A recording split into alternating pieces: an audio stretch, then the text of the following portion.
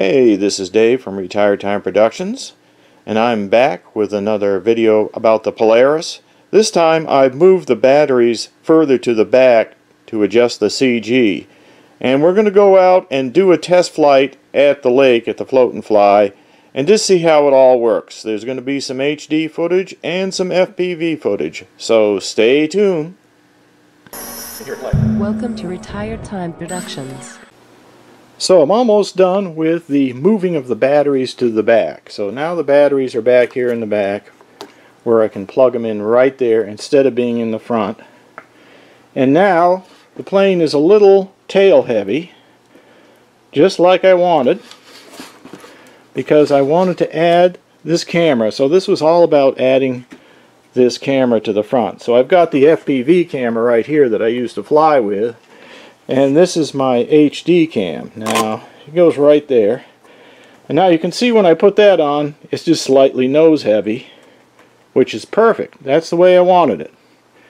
So in order to do this I had to take the vector the flight controller and move it forward and make a new compartment for it. I had to tear everything out. It was a mess.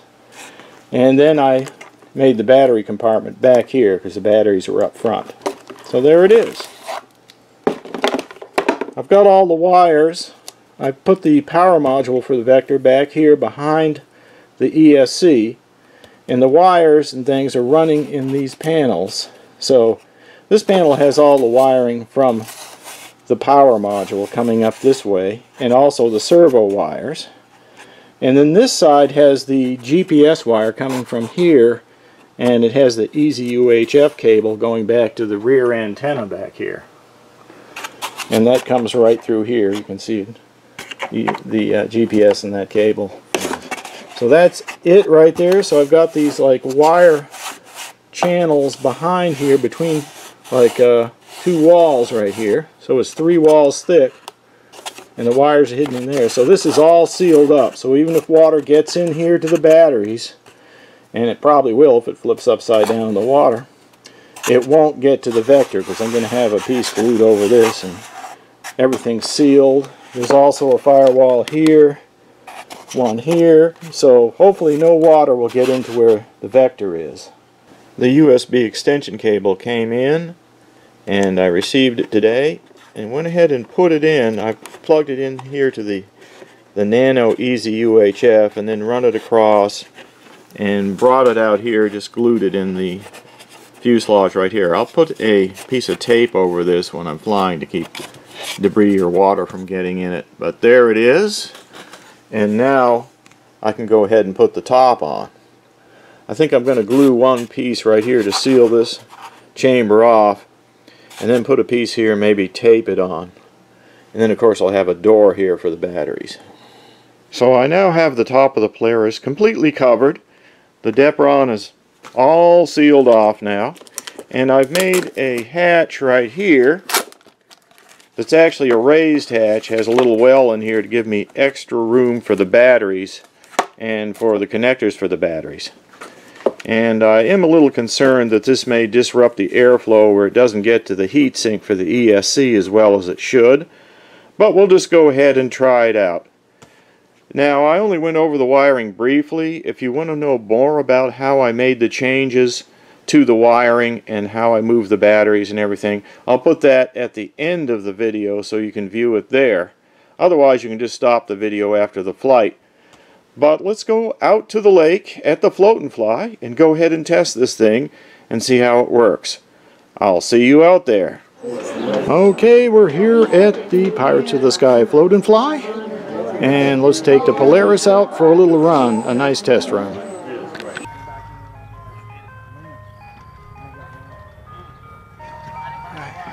You take that. Uh-huh. Got it? Yeah. You want to put it on your head or anything? No, I'm just gonna hold it like this. Huh? Okay, aiming it at the plane. Yep.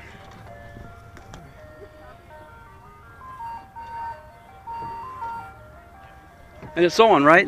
Yep, it's blinking.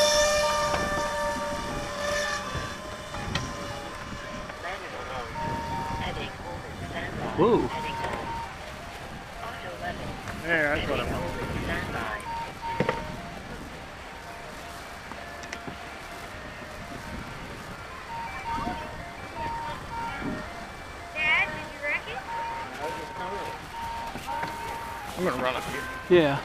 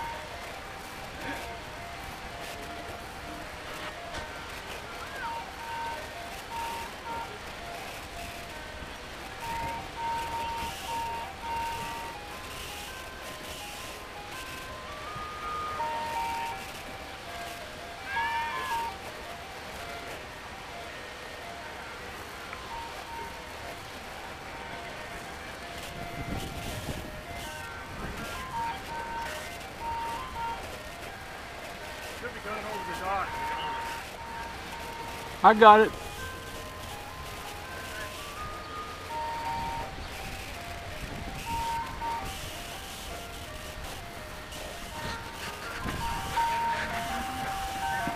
I'm over the trees actually now. Yep.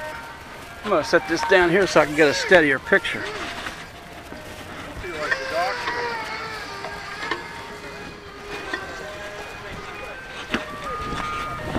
Trying to get it down to a reasonable altitude. Yeah, 143 feet. There you go, Dad, that girl. Oh, 11.83 volts. Yeah, that girl. Now, no one. No one. You near close to me, Jim? Yeah, I'm about 10 feet away, Dave. Oh, okay. Man, you're way out there. I can hardly yeah, see you. around. Yeah, I'm just getting a nice view of the lake. It's got the lamp, you know, the long range stuff on it, so I want to see what I can see.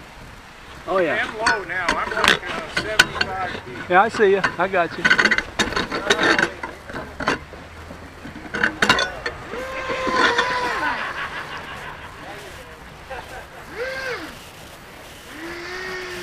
This being freehand, I don't know how steady I'm holding it. Okay, coming over the dock at 150 feet. Yeah, I got it. I think I'm going to go out towards the road and come around so I don't get in the Oh, boy, that's tough. Oh, it's over top of you. it's tough to see. Alright, I managed to stay out of the trees that time. Oh, you did real well. You're good. I can see really good, but it's coming over the dock again,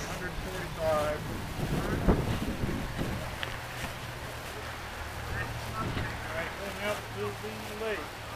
Big one. Big Dang!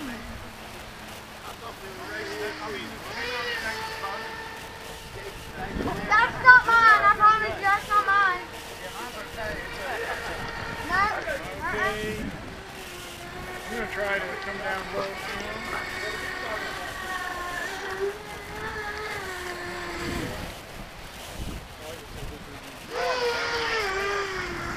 pass. but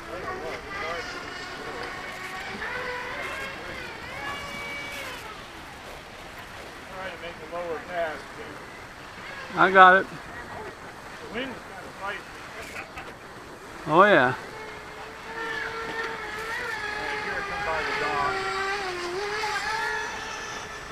I got that boat in the view. Uh-huh.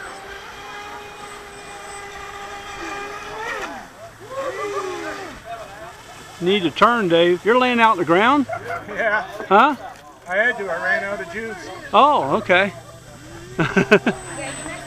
So in conclusion, after the flight, I noticed the heat sink for the ESC was really, really hot. So I'm wondering if that's why I had the loss of power and couldn't climb back up. The motor actually was running after the landing, but I didn't notice uh, anything wrong. It finally did cut off, almost like it was trying to return to home. I did not see the return to home mode come up on the screen. It stayed in uh, 2D which is basically stabilized mode. I didn't see a fail safe. I noticed the battery voltage got down below 11.6, but if you look at the safety screen for the Vector, There is no low battery failsafe that I can find anywhere. And I didn't see a warning on the screen or any change of mode. So to me, I just think it was the heatsink getting overheated, probably from a not enough airflow going over it. So that was my conclusion. Maybe I need to build a scoop here to kind of funnel the air right over the heatsink, or just go to a larger heatsink. Or maybe a bigger ESC. So there are, there's all kinds of things I could do. The easiest one would probably be just build a scoop to funnel the air over it. So that's it. That's the flight and that's the conclusions. Now I'm going to show more details on the wiring. So if you want to stay tuned and see that, you can. Otherwise, this concludes the video. Talk to you later. So this is a follow-up on my Polaris build. I decided I wanted to move the batteries. So I've completely removed the top and I'm moving all of the hardware around. So the batteries used to be up in this area and because it was uh, actually a little bit nose heavy I'm going to move the two batteries back in this area and then move the vector the flight controller up into this area. So to do that I'm going to have to extend some wiring probably leave the ESC where it is but I needed to get in here and splice into these servo wires to extend them. Also, I took some wires off this lead here that comes from the power module to the vector. I took the wires off that feed the video just removed them off this plug here. Took a needle and lifted the tabs and removed the wires so I removed all three of these plugs because I'm not using them. Basically, these were the wires that would normally feed the video down here, but I'm feeding it with an LC filter instead, which then goes over to pick up the uh, voltage from the power module. So, doing it a different way, well, that's the way I found worked the best for me, and I'm going to continue to do it that way. So everything gets moved forward, batteries get moved backward. The EZUHF is, I've got it right here now, but I'll probably move that forward to just get everything out of the battery compartment and seal up the vector and all its components up in the front. It's not moving that far, probably about maybe this far, like uh, three inches or something, and then I'll move the firewall back behind it. It's more like a bulkhead, I guess, to keep the water from getting to it. So this part in here will be open between two bulkheads, and the batteries will go in there. Okay, I'll get back to you after I get more of it done. So just a quick rundown for my reference on how these wires go. So the uh, UBEC is plugged in right here. This is the 5 volt UBEC with a red wire at the top. And then we have the wire coming here from the ESC, so that's the throttle channel, so ESC white wire at the top. And, uh, oh yeah, this red wire on the UBEC is actually the second one down. So the top one is empty. So all the white wires or yellow wires with the grounds, I mean with the, with the signals are at the top. So signals are at the top. So yeah, so we have the throttle from the ESC right here. And then we have the elevator channel and then the aileron channel. And then we have the rudder right here. And then finally we have the PPM signal that goes to the EZUHF is plugged in right here. So that's the basic wires. And then in the front, of course, we have a power module connector right here. So that's pretty much it. I got to remember to put the USB port. I'm going to have to move that USB port back a little bit that plugs in there. So that's all the basic wiring. And I'm going to be extending these wires from the servos.